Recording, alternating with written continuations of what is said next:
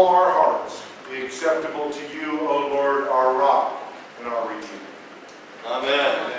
Be Seated.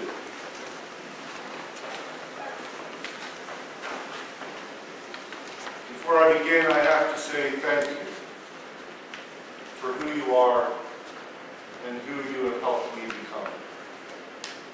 I could not have done any of this without you. And I appreciate your love and your care and your support. From the bottom of my heart, thank you. Now on to the good stuff. Have you ever received a gift and wondered, what am I going to do with this? Or worse yet, received a gift and you didn't know what it was.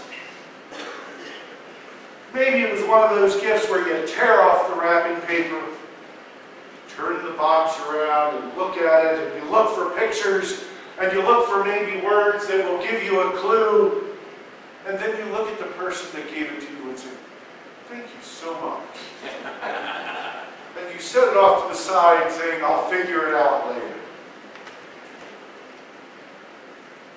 If you have children, or had children, or know of any children, you might have experienced what my kids experienced when they were young.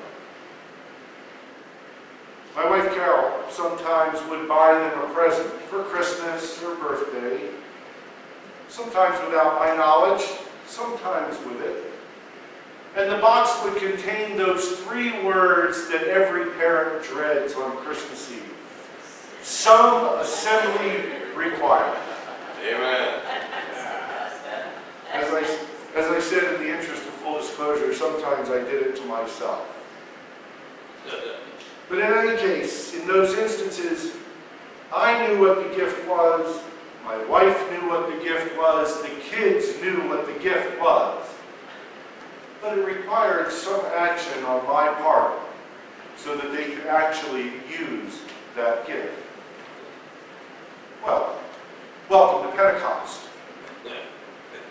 It's on this day of Pentecost that we remember and we celebrate the gift of the Holy Spirit and that it's come to us.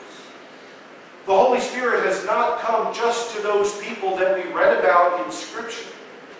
It wasn't to the early church mothers and fathers. And it isn't just a past that we recall fondly. Pentecost is a day to remember that through our baptism, we are the recipients of the gift of the Holy Spirit as well. It is a gift that we continue to receive today because of what happened on that first Pentecost. And all of those people being able to speak all those different languages. We call this the birthday of the church. So yay! Happy birthday! Happy birthday. We received the Holy Spirit. Now what? What is this gift? What does it require? Do we know what to do with it?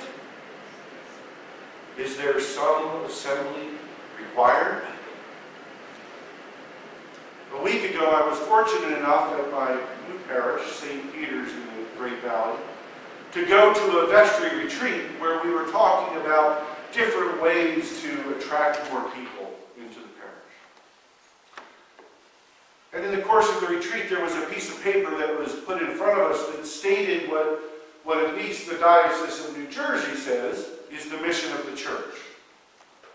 And that is to form disciples of Jesus Christ so that they can participate in Christ's mission of reconciliation in the world, relieving, healing, and liberating them from suffering. I'll say that again. To form disciples of Jesus Christ so that they can participate in Christ's mission of reconciliation in the world, relieving, healing, and liberating them from suffering. That's exactly what those first recipients of the Holy Spirit did. They told others about Christ and about his mission, and then they invited them to be a part of it. At this point, you might be thinking a couple of things. The first is, Chris, this sounds an awful lot like evangelism. Thanks be to God. You're right, it does. We in the Episcopal Church don't use the E word very often. We're uncomfortable with it. We think about knocking on doors or standing on the corner passing out tracts to people walking by. And the second thing is you might be thinking is Chris is delusional if he expects me to go door to door to tell people about our Lord and Savior Jesus Christ. But that's not what I'm asking you to do. Although it's not a bad thing. It's not what I'm asking you to do. I think it's time for us in the church to reclaim the way the early church understood the word evangelism. To bring the good news. To bring the good news, to share the good news, and to join with Jesus Christ in his mission of reconciliation. Reconciliation is at the heart of the Scripture. It is at the heart of our worship, and it is at the heart of everything that Jesus did while Jesus was on earth. With the receipt of the Holy Spirit, we, the church, are now the body of Christ in this world, and it is up to us to carry on this mission of relieving, healing, and liberating others from suffering. Yes, sometimes that involves going door to door. But there are a myriad of other ways that you can help in this mission. The Spirit comes to each person in a way that is meaningful to both God and that person. St. Paul tells us in 1 Corinthians 12 that there are a variety of gifts, but the same Spirit. And that each gift is used for the common good, for the building up of the church, and to continue the mission of Jesus in the world. It could be teaching in church school. It might be singing in the choir. It might be working the pit at the chicken barbecue. It might be going over to the outreach house and helping serve others. Or bringing others that you meet to the outreach house to receive the help that they need. There are numerous ministries that you can be a part of in this place and in the world. But how do we make the most of the gift of the Holy Spirit? How do we participate in that ministry of reconciliation? How do we know what we are called to do? Have no fear, this is where we get back to those three wonderful words. Some, assembly, required. We need to pray. We need to continue to, to study Scripture and explore our faith. We need to worship together in community and share the Eucharist. We need to be in a community of other believers. And when we make mistakes, we need to confess them and return to God. When we do these things, we orient ourselves to the roles that we are to take in the body of Christ.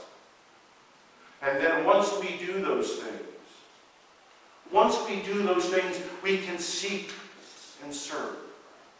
We can love our neighbors as ourselves, and we can strive for respect and dignity of every human being.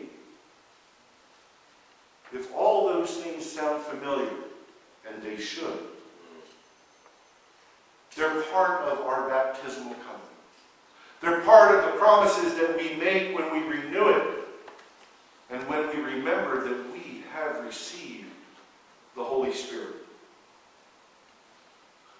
Friends, as we go forth from this place out into the world, think about the gifts of the Holy Spirit that has been given and the gift that has been given to each one of you and how that gift might be used for the common good of all people.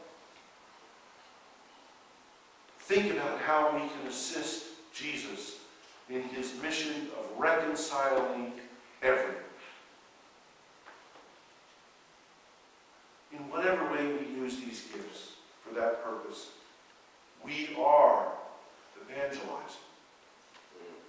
We are sharing the good news of God in Jesus Christ. We are participating in and inviting others to participate in relieving, healing, and liberating others from suffering. How will we use the gifts that we're given?